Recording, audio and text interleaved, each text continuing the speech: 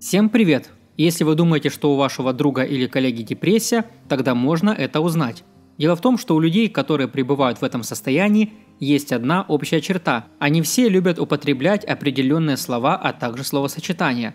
Конечно, вы не врач, чтобы говорить о таких серьезных заболеваниях, как депрессия. Но если будете вооружены знаниями о первых признаках надвигающейся беды, то сможете убедить другого человека обратиться за квалифицированной помощью. Не секрет, что иногда депрессия приводит к очень печальному финалу. При этом человек, который страдает депрессией, мало чем отличается от обычного человека. Они могут ходить на работу, улыбаться через силу, чтобы никто даже не заподозрил, что творится у них на душе.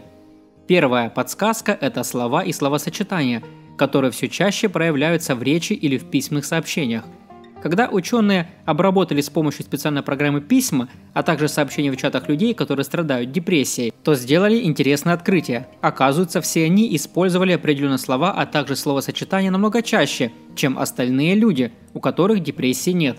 Поэтому, если вы думаете, что кто-то из ваших знакомых может быть в депрессии, обратите внимание на их речь, а также письмо. Не встречаются ли там фразы следующих шаблонов? Итак, первый шаблон – они используют слишком много негативных слов. Вероятно, вы думали о словах, которые выражают негативные эмоции – одинокий, печально, несчастный, встревожен и прочее. Поэтому человек, который страдает депрессией, использует эти слова чаще, чем в нормальном состоянии. Происходит это подсознательно. Люди, которые находятся в депрессии, вовсе не пытаются вызвать жалость. Скорее всего, это попытка спастись, сообщить о том, что нуждаются в помощи. Заметьте, что при этом они могут об этом даже и не подозревать. Второе. Они очень много говорят о себе. Лингвистический анализ говорит, что в подавленном состоянии человек использует личное местоимение «я», «меня», «себя» намного чаще, чем другие люди. Это происходит не просто так. Ведь один из признаков надвигающейся депрессии – это зацикленность на своих проблемах и ошибках.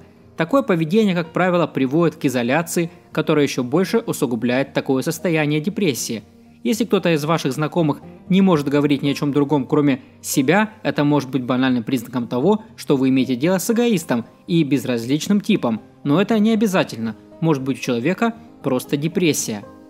Третье. Такие люди становятся слишком категоричными. Когда депрессия приходит, мир видится в черно-белых красках, никаких полутонов и нюансов нет. Поэтому люди чаще всего используют такие слова, как «всегда», «никогда» и «окончательно».